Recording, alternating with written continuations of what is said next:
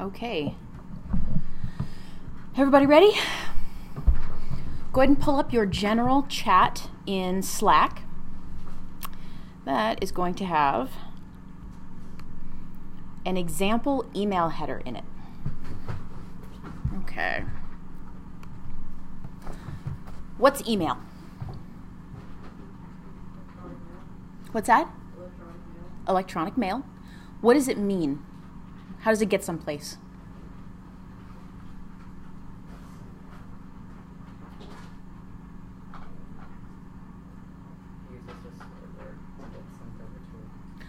Shout them out a lot louder. I can't hear you folks. What did you say?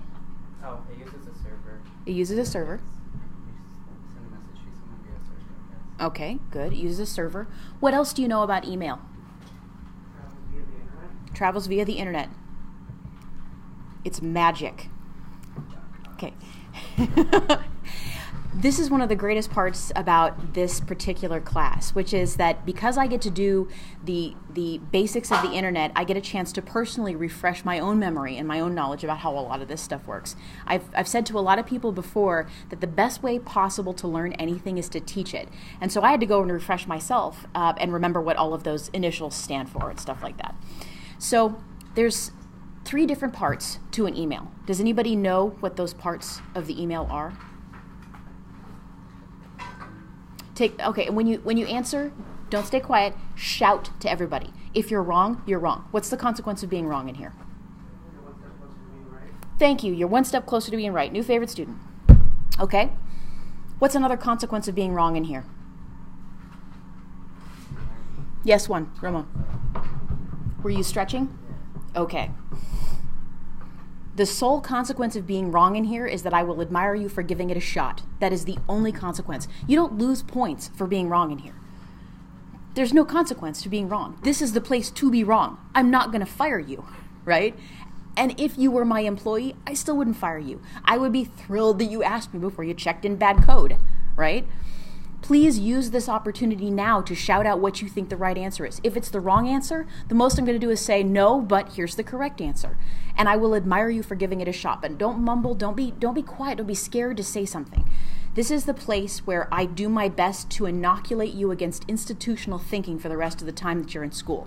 Institutional thinking will tell you that there is a penalty to being wrong and that people will look down on you. In the exact opposite way, technology will reward you for perpetually, constantly being loud and wrong. Okay? Be loud and be wrong as many times as you can because that means that you're trying as hard as you can to learn. There are three parts to an email one is the envelope, the next is the header, and the third is the body. What do you think those things are? What do you think the envelope is? What it's sent in. That's a really good way to put it. Um, it is the, the capsule that most of us will never see that the email protocol operates in. Have you ever seen? Um, I don't know how many of you have, have ever seen this. Um, do you know the vacuum tubes that they used to use for, for taking checks at banks that would go like this and suck? It, yeah, it's pneumatic tubes. Um, and they use those still in a lot of buildings, some places if you look at a pneumatic tube, the capsule itself and the tube that it travels in could be a good analog for the envelope, okay? And if you looked at the deposit slip and the cash that you've got in there, you might think of the deposit slip as the header and the cash as the body of the envelope. And I mean C A S H, not C A C H E, right? Is that a pretty good analog for what's going on here? Okay, there's the process, there's the directions, and then there's the stuff, all right? Most of us only ever see the stuff. Now, the first thing on the envelope is don't worry about that for the moment because it gets kind of complex. What what matters more is how it gets someplace than why. And so the the envelope is the why, the process will be the how, and that's what we'll talk mostly about. The header is the directions. And then the body is the cat picture that your mom just sent you. Again and again and again and the chain letter that your auntie just sent you and your grandma and she's so mad at you because you didn't pass it on to your auntie and then there's that email and the recriminations and then there's the Snopes link that you have to send back, and then there's the questions from all of your relatives as to why it is that this Snopes.com site is any different than the rest of the internet when it comes to credibility. And those are clearly my issues, but I'm guessing that many of you in here have experienced the same. Okay, so here in the uh, Slack chat is a sample email header.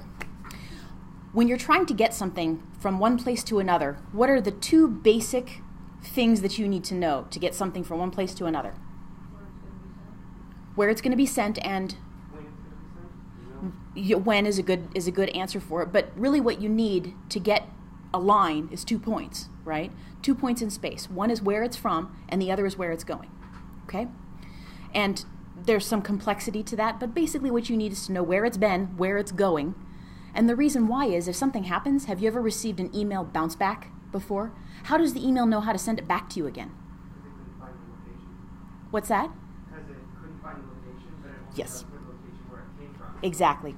It only knows where it came from. Well, it does know where it was going, and it's telling you, sorry, there's no there there. The, the, the mailbox ain't taking it. It's not working. Okay?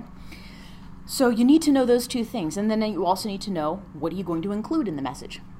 Does anybody know why Twitter is 140 characters?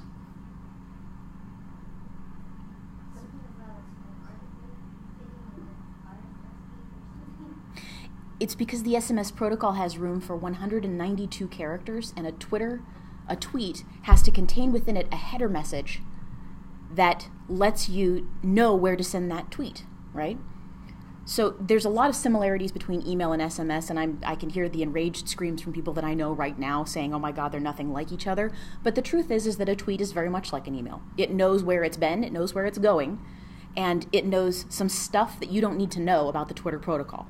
In that same way, that stuff you don't need to know about the Twitter protocol is like the envelope for email. Don't worry about it for now. What matters is the header, because we're going to pull this apart and show you how email actually works.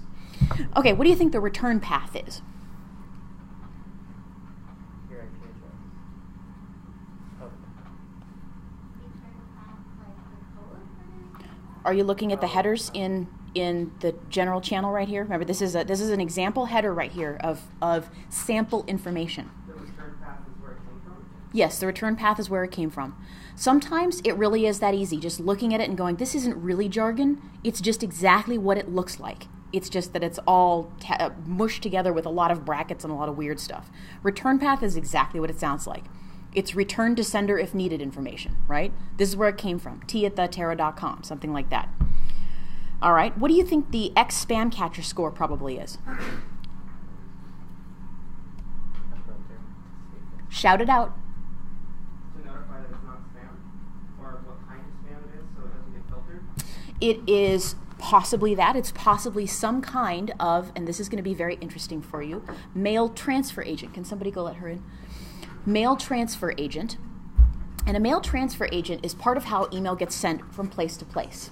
Okay? So if a mail transfer agent is part of how email gets sent from place to place, one of those agents might be a spam catcher. It might be a filter through which that email has to go to make sure that it's not a Nigerian prince offering me $25 million in his hand in marriage. Right? Okay. Received from. A lot of this is, is just yeah, a lot of this is just information that says this is where this came from. How many of you have seen Stargate?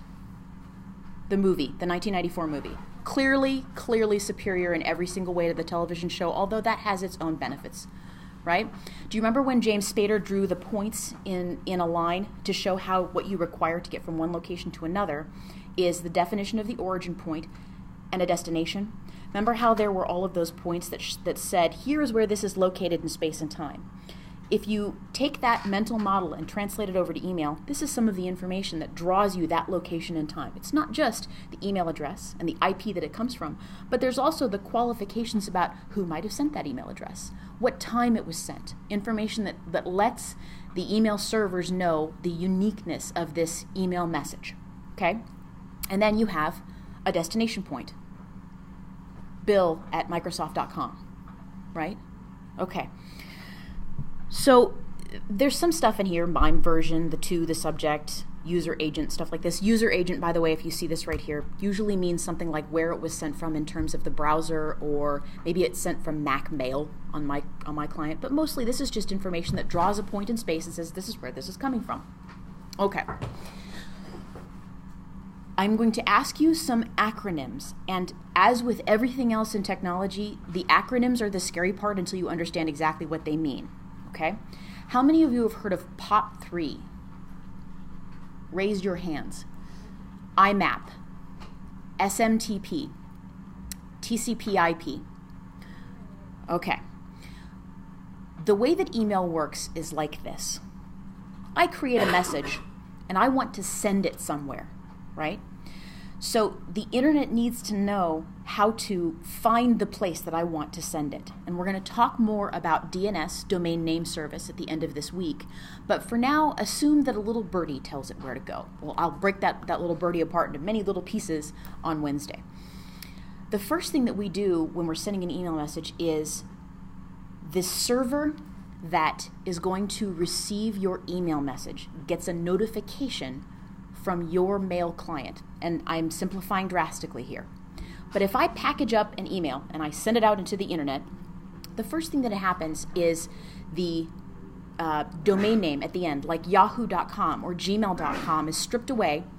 And then a server on the internet says, I know where those IP addresses are located for the Gmail email servers. So I'm going to send that email there. And a server that does that kind of routing on the internet is called a mail transfer agent. Okay, there's lots of those everywhere. There's there's lots. I, I don't have a number for it, but I'm sure there's tens of thousands of those boxes to route Gmail email messages everywhere. All right, very. There, in fact, I happen to know for sure that there's only one that routes theterra.com messages anywhere because that's my email server. My email server theterra.com has been registered on a domain name server so that if you send an email to me, the DNS server points it at the server where lives theterra.com. All right?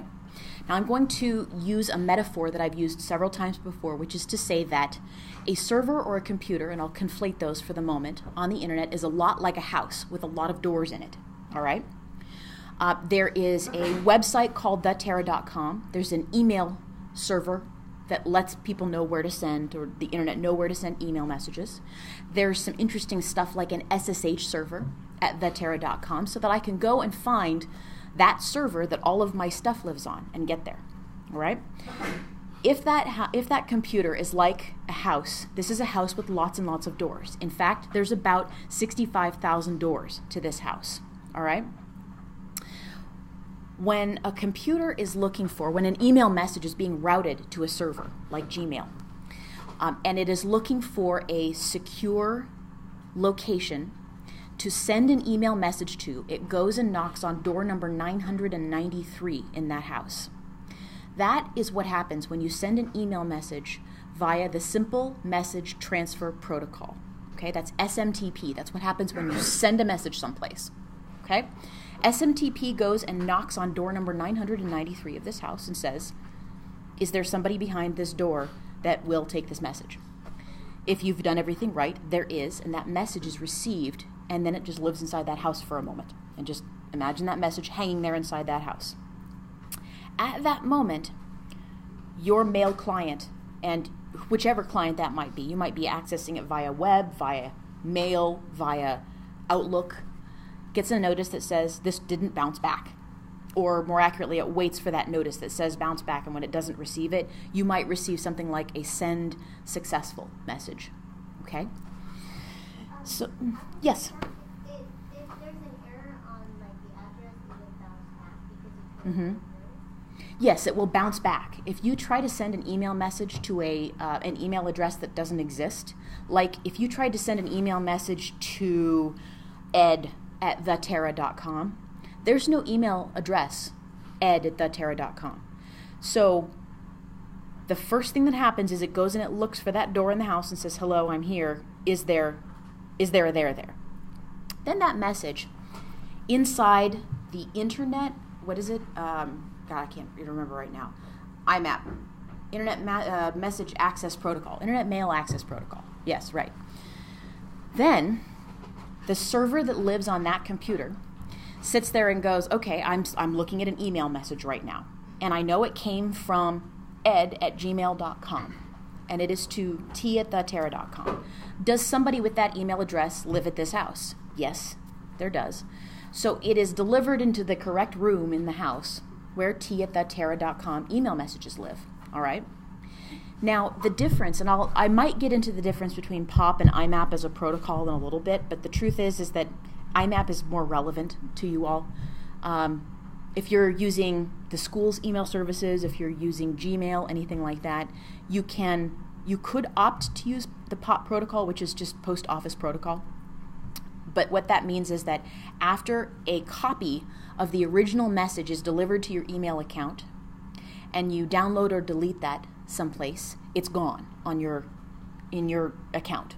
In Internet Mail Access Protocol, what happens is that is a protocol that lets you access your mail from multiple different locations and is stored on a central server. This is the way Gmail operates. Okay, when you use um, Outlook or any of the mail clients you have on your phones. Like if you use Android's mail client or iPhone's mail client and you have logged into a Gmail account, I'm, I'm assuming several of you probably have done something like this, or Yahoo, anything like that, um, you can access your account and see the messages that are in there. And if you delete that message on your phone, it doesn't necessarily delete the message on the server, right? Okay. I'm explaining a lot very quickly. And so it's okay if you want to stop me and ask questions right now. Are, are, am I losing any? Okay, go ahead. I have a question. Yes. Um, sorry, I'm losing my voice. If, um, if you sign up for something on the internet and it asks to verify your email address, is it Yes. basically doing that same process?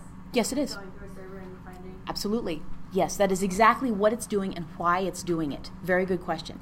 When someone sends you a verification email address, what they want to know is are, are you messing with me right now? Did you give me a real email address? It doesn't necessarily know if it's you, but it wants to know if it's a valid email address. And it's one of the things that sites do to prevent a lot of spammy usage of their services or a drain by bots that are randomly generating email addresses and using them to register on the site. It's very annoying when that happens, and it's a problem for people who maintain servers. It takes up data. Not a lot for each one of the fake email addresses, but when you're dealing with billions, that crashes a server. And also, that is a point of attack, just for future reference, for something we call a DDoS attack. Who knows what a DDoS is? Yes, No, actually, no. I just have heard of it before. you've heard of it before? Who knows? Go ahead. It's a something denial of service. Distributed denial of service. Very good. Exactly. So that's what happens when you try to overload something is a distributed denial of service attack. And that's what happens when you have multiple computers trying to do the same thing to that site, overload it with whatever the case may be. And there's lots of different variations on that, but that's one of the possibilities that it's trying to prevent. Okay. So in this house lives my email in the room that says t@theterra.com, all right? And I can access that room from lots of different locations. I can access it from my my phone, I can access it from my computer here if I want to. If I get stuck someplace and I need to go to an internet cafe, I could go if I know the credentials for the web servers and go log directly into the webmail for something like t@theterra.com or another one of my email addresses tarah at fismint.com for my company right? I can access them from many different locations because my mail is living on a central server. What are some of the problems with mail living on a central server? Yes. Privacy is a very good answer to that question. Who owns my email that is running through Google? Yep, Google owns it. Now, Google has a policy that anything that is older than six months old in your Google account is freely accessible and indexable inside that company. They can mine your information if it's older than six months. Does it make sense to leave a lot of information on Google servers? Probably not. I don't know the specifics of the Yahoo terms of service, but I'm guessing it's probably pretty similar. All right. One of the best things that you can do for your own your own privacy and security is encrypt your emails using a third-party service. There's a lot of solutions out there, very few good ones. I know some of the people that invented some of the first security protocols for the internet for email. Um, one of them is called Pretty Good Privacy, and it's pretty good. It's terrible to configure. A lot of security pros use it. Um, the the guy that invented it actually doesn't use it anymore because it's tough to use, but it's damn secure, right? There's a lot of other third-party protocols you can use. There's something called um, what is it? As, oh, I forgot that one. So there's a lot of stuff that you can use to make your email more secure. One of the best things that you can do is just delete them as fast as you can. Get rid of them. Don't let Google be looking through your your email. Same with Yahoo. Same with Seattle Central. Just get rid of them as fast as you can. Treat them as ephemeral and not like a personal database to the best of your capacity.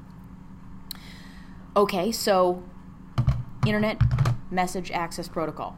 I see, and I, I can never remember the, the initials myself. I, I'm often reminded of what happens when I watch something like Scandal. Does anybody here watch Scandal? with Olivia Pope and. Um, okay, do you guys not watch television? Seriously. Two episodes? Okay, how do you not watch that show? It is awesome. I mean, seriously, how many affairs can she have with the president, right? Like individual, unique, discrete affairs. Okay, anyway. So, um, so I love that show, but I love the horrible techno babble on it because the guy's like, the distributed host circuit protocol server, and I'm like, dude, we do not even use the entire name of that. It's DHCP, right? And he didn't even get the name right. It's the DHP, DHCP server, and nobody actually says the entire word out out loud right? So, or the entire acronym out loud, so nobody even remembers it anymore. You have to stop and look. Wait, what does DHCP stand for again? So, you know that that kind of techno babble it it stops you necessarily always from remembering what everything stands for, but unpacking it is kind of fun. So if I sit here and go, um, it is simple message transfer protocol. Yes, that's probably right. All right, look it up yourselves. Right? What other what other questions do you have about the way that email works? Do you understand how the directions get you there, and then it verifies it and says, "Yep, Somebody lives here. Questions? Um, Yes. SMTP and then there's simple access protocol. S- Simple message access protocol. Simple. No, simple- it, simple mail transfer protocol. Simple message transfer protocol. Sorry. Yes. See what I mean? What other So, questions do you have? Similar to SMS, I was reading an article once Sure. where it's basically like there's the towers where it's a text goes from there and it goes, so Mhm. Bounce, bounce, bounce, bounce. Absolutely. And at each one of those locations, a copy of the message is created to verify, right? So if, if you send a message to the other party, a copy of the message is created through the mail transfer agents to make sure at each point of those each one of those points that the message is right. Right? And then it'll verify back. And then in good mail transfer agents, any excess copies will be deleted. But if you've ever heard like technobabble in movies talking about how to go get emails off the server or catch them in transit, or something called a man in the middle attack, maybe, which is often used in bad, bad technobabble on television shows. That's one of the, the vectors from which that attack can come. Um, Yes. so then, for example, if the law wanted to subpoena emails Yes. six months ago to Google, they can. If the law wanted to subpoena emails from six months ago from Google, they don't even need a subpoena. Google will just hand them over. Oh, yeah. So that would be how they can catch hmm. the bad guys. But sending like emails to kill somebody on their side of the road. That is one of the ways that law enforcement goes through and reviews people's emails and looks for code words and things like that, yes. And that's also any party that wants to get their hands on your emails. Google owns them at that point. So anytime we use any Mhm. Google or email server like Google, Yahoo, or Very good question. Anytime you use a third party service for your email, read that terms of service really carefully because they can read your mail too. All right? is there any way to accidentally like um, could you bypass like for example you had an email called Apple Apple Five and then somebody could steal the email and it'll redirect it to your email. to- Um, there are ways to steal and redirect email. Yes, it's it's hard to do, but it's it's quite possible. I think the question, maybe if I'm if I can restate this the right way, is what you're looking for is some kind of reassurance that other people can't read your email and what possibilities there are for you. Run your own email server is the best possibility with your own with everything that you know about email, and this this is something you could do. You could do it yourself by the end of this class if you wanted to. All right, and the other one is to use a, uh, a third party service that has guarantees about end to end encryption. There are some options that are out there for that too. But basically, the sum total of the lesson for today is email is about as secure as handing a physical letter to a postal worker. Sure, you trust that the system is going to get your letter there, but you don't really know what's going to happen to it in the meantime. And if someone wants to steam open that envelope, what are you going to do to stop them? So the, the the moral of today's story is delete everything on third party servers as fast as you can and don't use them as databases for your own personal information. All right? People get trapped when they've got 10 years of Yahoo emails and someone goes through them and down and, and downloads. I think it was Sarah Palin lost something like 2 gigs of her emails during the 2008 presidential election. Do y'all remember that? Yeah huge, huge personal data breach, and that is helped by not using third party services and deleting things as fast as you can. Once they're off the servers, Google has made a promise to delete them once you've trashed them all. But if you leave those mails in your account, they can parse them any way they want to. Any last questions? Okay, good. Alrighty.